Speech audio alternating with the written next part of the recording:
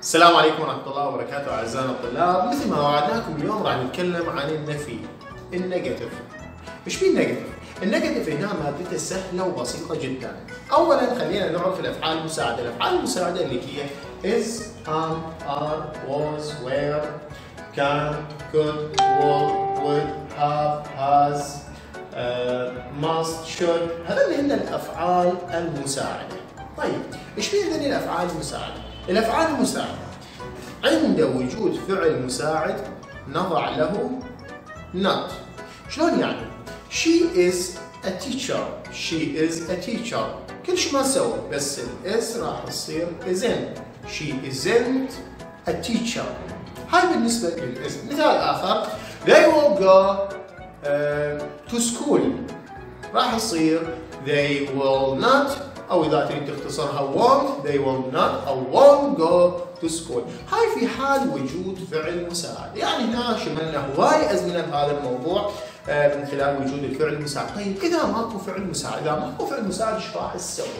هنا راح نروح إلى الفعل.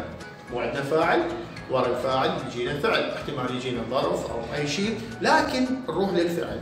هذا الفعل اذا لقيت به أس الشخص الثالث. نعم إذا لقيت أس الشخص الثالث تحذف الأس وتخلي doesn't. شلون؟ She reads a book. She doesn't read a book. هذا مثال. طيب هذا الفعل لقيناه بالماضي. إذا لقيناه بالماضي راح نرجع للمضارع ونخلي didn't مثال they play tennis. They play tennis. إيش راح نسوي راح يصير they didn't play. شغلات الإيدي هدفناها ليش؟ سوينا هدفي. تنس. طيب رحنا للفعل وكل شيء ما لقينا به، لا لقينا به أس الشخص الثاني ولا لقيناه في حالة الحالة الماضية، يعني مثلا they watch TV هنا إيش راح يصير؟ كل شيء ما نسوي بس راح يصير. They don't watch TV اذا هنا لازم نتأكد.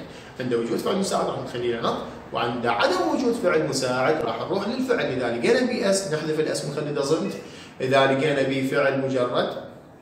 راح نخلي بس don't. واذا لقينا به فعل ماضي. نقلب الماضي إلى المضارع ونخلي didn't سهلة وبسيطة وما بيها أي إشكال. شكرا جزيلا.